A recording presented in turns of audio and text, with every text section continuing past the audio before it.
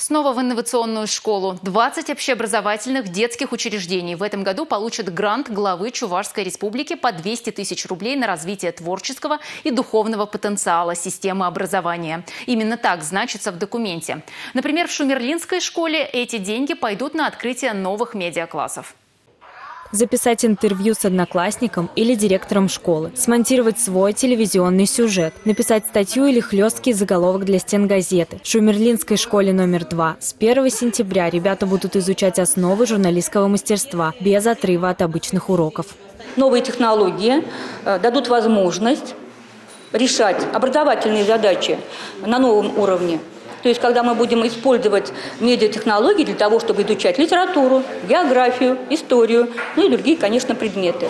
Создание медиаклассов для учителей всей страны – это новая, интересная работа. Пока не существует четких ориентиров, как же правильно совместить общеобразовательную школьную программу и медиа. Здесь э, большой простор, э, простор для творчества.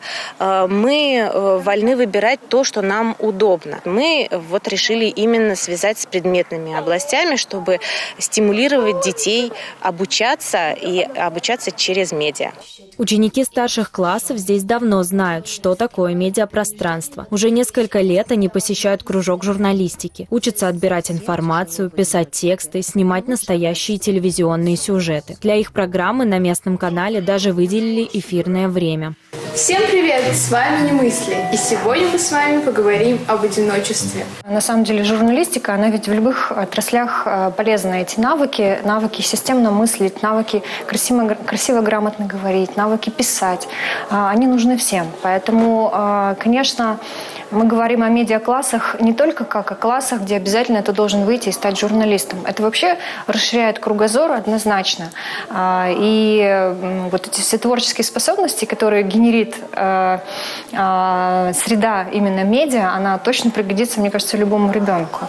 В новом учебном году медиадетки, как их называют педагоги, снова возьмутся за камеры и сядут за компьютеры. Писать, снимать и монтировать. Не все станут телевизионщиками, операторами, но тот опыт, опыт общения в первую очередь, который мы получали здесь, э, безусловно, положительно скажется на э, дальнейшей, надеюсь, процветающей жизни каждого э, из нас. Медиаклассы в республике – новый проект. И в первую очередь учителя, по сути, учатся новому. Ищут, ошибаются, пробуют и находят. И все понимают, главное не засветиться по телевизору или в интернете, а научиться не просто плавать, а не тонуть в море информации очень разного толка. Екатерина Никитко, Георгий Кривошеин, Республика.